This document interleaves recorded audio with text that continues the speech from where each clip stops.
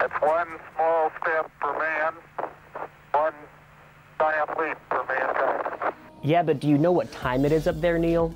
There's no standard for time on the moon, but that may soon change. The European Space Agency, or ESA, is trying to give the moon its own time zone.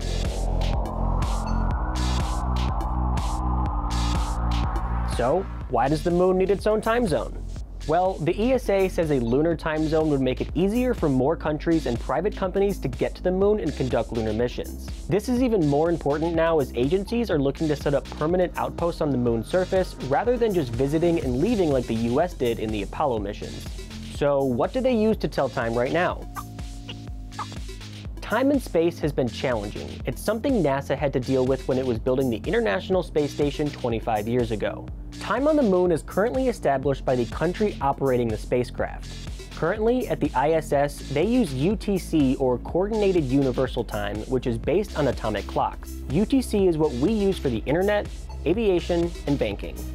The idea for UTC came from trying to figure out how to coordinate rail and shipping lines in the 1800s. All aboard! In space, they use deep space antennas to keep time on spacecraft synced up with time on Earth. So let's say everyone says yes to a lunar time zone. What now? You can't just set a time and say, boom, lunar time. Plenty of things still need to be worked out. Who gets to set the time? Who maintains it and how? What about the fact that clocks run faster on the moon than they do here on Earth? Clocks on the moon gain 56 microseconds a day, and when precision is so important, that can make time drift after a while. And a day on the moon can last as long as 29 and a half Earth days, which means it takes 29 and a half days for the sun to come up, go down, and return to its original position.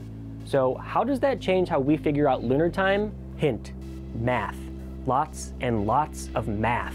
So as the ESA pushes for lunar time, there is still a lot of Earth time to figure something out.